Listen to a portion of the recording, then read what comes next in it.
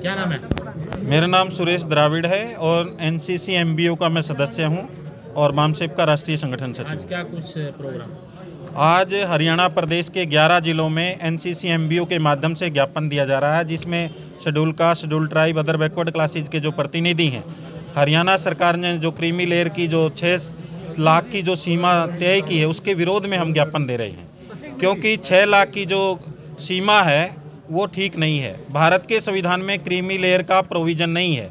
तो इसलिए हम क्रीमी लेयर का, जब भारत के संविधान में प्रोविज़न नहीं है तो सरकार को ये क्रीमी लेयर की कंडीशन नहीं लगानी चाहिए और क्रोमी, क्रीमी लेयर का प्रोविज़न नहीं करना चाहिए। और फिर सरकार देखिए कितनी, आप देखिए आठ लाख जो है, आर्थिक तौर पर जो पिछड़े हैं उनके लिए जो संविधान में आरक्षण का कोई प्रोविज़न नहीं था, उनके लिए आठ लाख की सीमा तय की है। लेकिन अदर बैकवर्ड क्लासेज के लोग जिनके लिए संविधान में प्रोविज़न है, उनके लिए छः लाख की कंडीशन तो ये मेरा ये सवाल है कि जो चालीस सेंट्रल यूनिवर्सिटी हैं, केंद्रीय विश्वविद्यालयों में आज भी एक भी ओबीसी का प्रोफेसर नहीं है। अगर इस तरह छः लाख की कंडीशन लगा दी जाएगी तो उनका कोटा कैसे पूरा होगा? स्वयं सरकार मानती है, सरकार के मंत्रियों ने संसद में बयान दिया कि उसका जो ओबीसी का कोटा है 11 प्रतिशत ही पूरा हुआ है। जबकि ओबीसी की उन्नीस की जनगणना के मुताबिक ओबीसी इस देश में बावन प्रतिशत है। तो ओबीसी को बावन प्रतिशत हिस्सा मिलना चाहिए। या अगर पुराने आंकड़े पर सरकार नहीं मानती तो जातीय आधारित जनगणना करवाए सरकार। और जातीय आधारित जनगणना करवा करके जितनी भी ओबीसी की संख्या बनती है, उसके मुताबिक हिस्सा ओबीसी को देना चाहिए।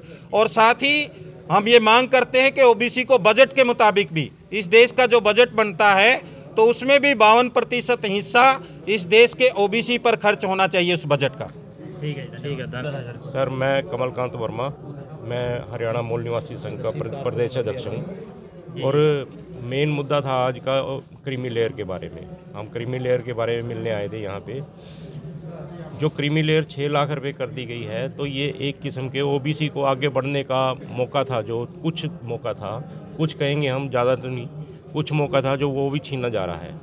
तो एक तो क्रीमी लेयर वर्ड ही नहीं है संविधान के अंदर। ऊपर से ये छः लाख का कर दिया, आठ लाख की बजाय। जो सामान्य वर्ग हैं, उनके लिए तो आठ लाख हैं, हमारे लिए ओबीसी के लिए सिर्फ़ छः लाख रुपए कर दिया गया है।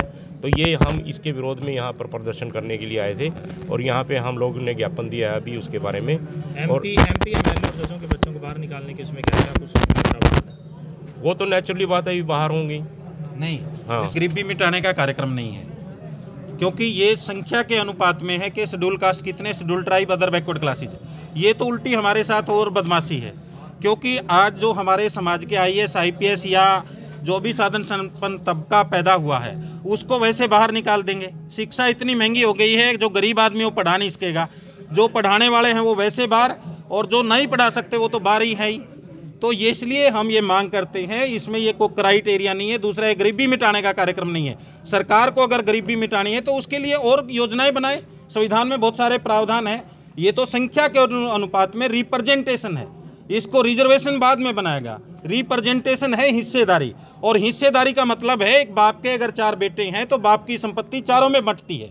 मतलब अगर बाप बेईमान है, आ, यहाँ पर हमारा जो बाप है, वो सरकार है।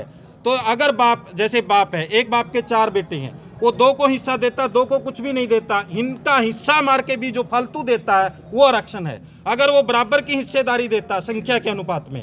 अब ओबीसी की संख्या बावन प्रतिशत ही है। संख्या के अनुपात में अगर कोई चीज़ मिलती तो हिस्सेदारी है। संख्या के अनुपात से कोई चीज़ कम मिलती तो हकमारी है। संख्या के अनुपात से अगर कोई ज़्यादा मिले तब आरक्षण है। मांगे नहीं मांगी तो क्या प्रदर्शन आगे जारी रहेगा? बिल्कुल जारी रहेगा। हमने 10 अप्रैल तक का कार्यक्रम निर्धारित कर दिया है।